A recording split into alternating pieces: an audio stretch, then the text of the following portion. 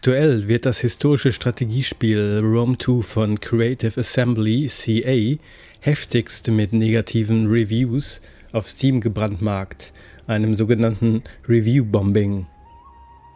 Zuvor schicke ich voraus, dass Rome 2 noch immer, obwohl es bereits Ende 2013 erschien, sich großer Beliebtheit erfreut und an den Wochenenden locker über 10.000 aktive Spieler aufweisen kann.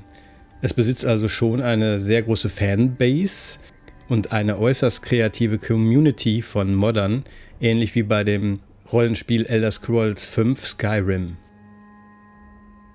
Doch was ist hier geschehen? Am 13. August 2018 verfasste eine CA-Mitarbeiterin, die gleichzeitig Community Managerin ist, ein Posting bei Steam. Als Hintergrund im Steam-Forum war eine heftige Diskussion darüber entbrannt, ob Frauen das historische Setting des Spiels zerstören, da es nach Meinung einiger User viel zu viel weibliche Generäle gäbe, angeblich. Die CA-Forums-Moderatorin Ella sah sich daraufhin veranlasst, den betreffenden Thread zu schließen. Und sie postete, dieser Thread ist ein völliges Durcheinander, weshalb ich ihn schließe. Wir haben Bann gegen jene veranlasst, die wiederholt gegen Steam Community Richtlinien verstoßen. Wir haben schon früher gesagt, dass die Total War Spiele historisch authentisch, jedoch nicht historisch akkurat sind. Wenn euch weibliche Einheiten so sehr stören, dann könnt ihr sie mit Mods entfernen oder einfach nicht spielen. Natürlich kann man geteilter Meinung sein, sich so durch das zitierte Posting so rigoros zu äußern unter dem Aspekt der Community-Pflege. Und dieser Post war in dieser Hinsicht bestimmt nicht gerade förderlich. Zudem gab es kürzlich einen vergleichbaren Fall. Siehe den Post eines EA-Mitarbeiters Patrick Soderlund im Juni 2018 im Zusammenhang mit Battlefield 5, der lapidar schrieb, wenn ihr keine Frauen in Battlefield 5 mögt, kauft es nicht. Tja, dieser Mitarbeiter musste seine Sachen packen. Im Steam-Forum fordern aktuell noch immer User, besagte L von CA zu feuern. Ja, diese besagte L hätte vielleicht doch besser mit den harten Fakten herauskommen sollen, wie sie es dann im folgenden Post vom 25.09.2018 tat. Ja, offensichtlich wohl etwas zu spät. Ich fasse diesen Post mal kurz zusammen. Der besagt, dass die Chance, dass weibliche Generäle bzw. Kandidatinnen dafür äh, angeboten werden, etwa bei 10 bis 15 Prozent liegt. Und dass es manche Fraktionen gibt, zum Beispiel die Griechen, die Römer, die Karthager und einige asiatische Fraktionen, die können überhaupt keine weiblichen Generäle aufstellen.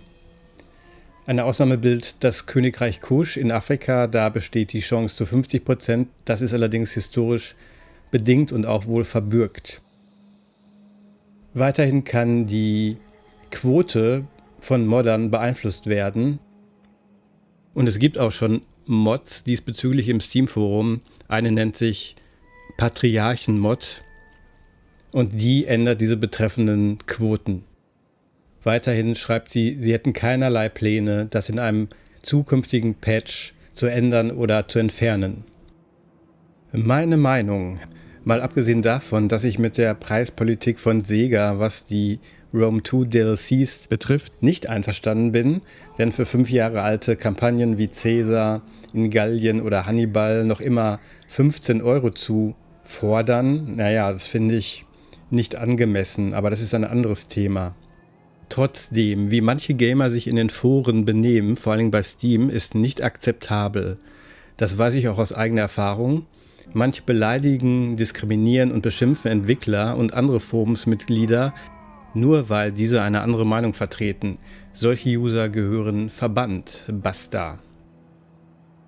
Nein, CA macht bestimmt nicht alles richtig, etwa dass sie viele Mods mit Updates einfach zerstörten in der Vergangenheit, Aber immerhin pflegen sie noch ihr Produkt, will sagen das Spiel Rome 2. Und nicht umsonst erfreut sich Rome 2 noch immer größter Beliebtheit.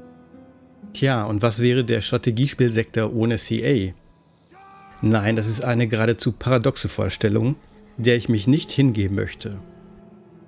Apropos paradox.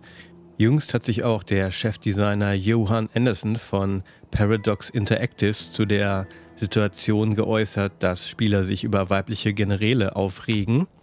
Und er meinte dazu nur lapidar, die Leute, die sich über Rome 2 beschweren, sind ziemlich dämlich.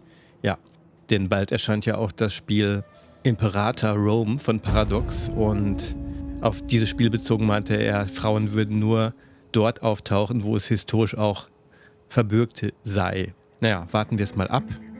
Aber in einem Punkt muss ich ihm mal zustimmen, diese hysterische Aufregung darüber, dass Generäle mit Frauen besetzt werden können, finde ich ebenfalls ziemlich dämlich.